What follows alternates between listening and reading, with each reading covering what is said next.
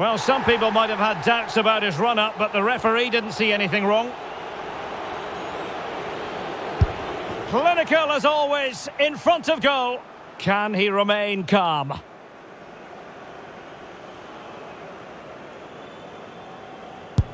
Directly into the goalkeeper's arms. He might be wishing that hadn't been his plan of attack. And the keeper makes the all-important save. What a big moment. And that's how to take a penalty. Low and into the back of the net.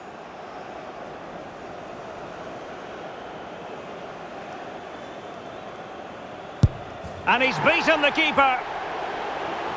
And up he comes, doing his best to remain focused. And there it is, perfectly executed. You want a pressure cooker, this is it. He must score.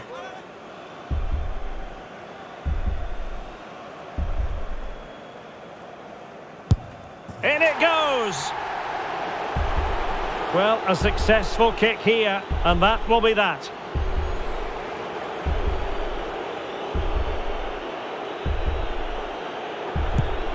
Well, the keeper reacted magnificently.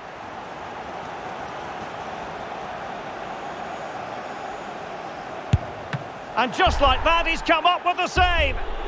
A goal here to finish it.